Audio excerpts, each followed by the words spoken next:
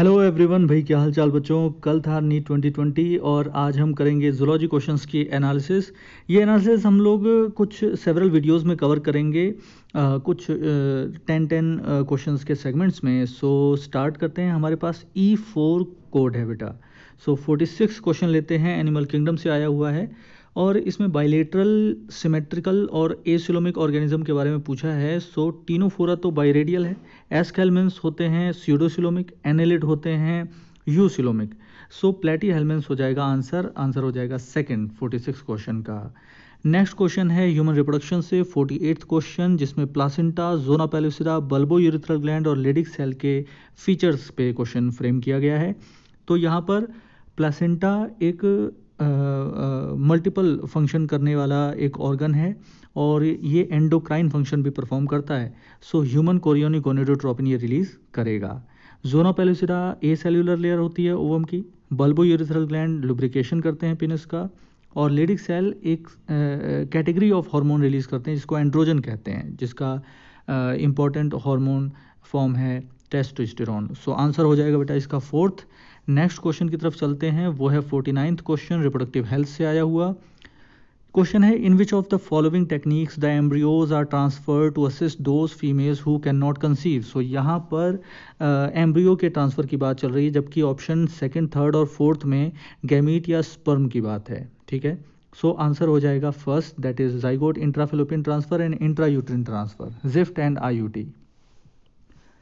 moving on next question हमारा fifty question evolution से frame किया हुआ है. From his experiments S L Miller produced amino acids by mixing the following in a closed flask ठीक है? सो so, जो combination है वो क्या था? मीथेन अमोनिया हाइड्रोजन का वाटर वेपर्स के साथ और टेम्परेचर था 800 डिग्री सेल्सियस तो सेकंड जो ऑप्शन है उसमें एन एच फोर है बेटा। ठीक है? और थर्ड और फोर्थ में अगर हम देखें तो टेम्परेचर वेरी कर रहा है। वो टेम्परेचर नहीं था 800 था सो आंसर हो जाएगा फ़र्स्ट नेक्स्ट क्वेश्चन है आ, हमारा फिफ्थ क्वेश्चन और वो है ई फोर कोड का फिफ्टी फ़र्स्ट क्वेश्चन आया है ये न्यूरल कंट्रोल एंड कोऑर्डिनेशन से सेंस ऑर्गन वाले पार्ट से और यहाँ पर organ of Corti cochlea Eustachian tube और स्टेपीज के करेक्ट मैचेस बताने हैं। सो इंटरनल ईयर से क्वेश्चन फ्रेम किया गया है organ of Corti basilar membrane पे लोकेटेड है ओके कॉकलिया कॉइल्ड पार्ट होता है लेब्रिंथ का।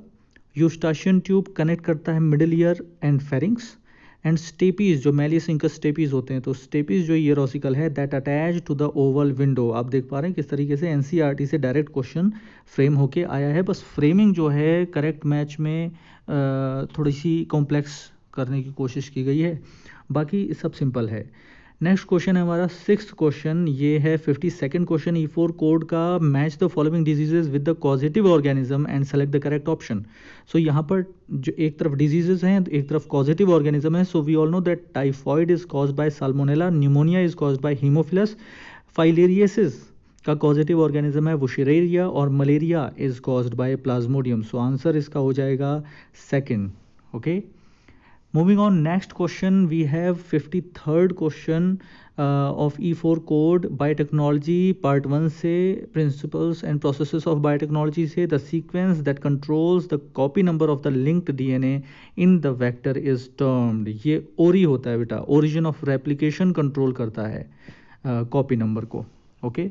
सो so, इसका आंसर हो गया सेकेंड नेक्स्ट क्वेश्चन है फिफ्टी फोर्थ क्वेश्चन हमारा एट्थ क्वेश्चन जोलॉजी का cuboidal epithelium with brush border of microvilli is found in ठीक है? क्यूबॉइडल एपिथीलियम पीसीटी में पाया जाता है बेटा नेफ्रॉन के, ठीक है? लाइनिंग ऑफ़ इंटेस्टाइन में तो कॉलमर है। फिर है बेटा sixtieth question if the head of cockroach is removed it may live for a few days because ठीक है? सो ये जो थर्ड ऑप्शन है और ये जो एन e की लाइन है, ये देख लीजिए आप। The head holds a small portion of a nervous system while the rest is situated along the body okay तो आंसर हो जाएगा इसका थर्ड नेक्स्ट है क्वेश्चन हमारा sixty fifth question select the correct statement endocrine से आया हुआ question है और पहला ही जो ऑप्शन है वो है लाइन एनसीईआरटी की, कि ग्लूकोकॉर्टिकॉइड स्टिमुलेट ग्लूकोनियोजेनेसिस हमें पता है बेटा कि ग्लूकोकॉर्टिकॉइड्स जो होते हैं, जैसे कॉर्टिसोल है कॉर्टिकोस्टिरॉन है, वो ग्लूकोनियोजेनेसिस करते हैं. It means the synthesis of new glucose from non carbohydrate precursors okay so answer हो जाएगा वन सो ये टेन क्वेश्चन हमने डिस्कस किए यहाँ पे। आप नेक्स्ट वीडियो सेशन में मिलते हैं। Thank you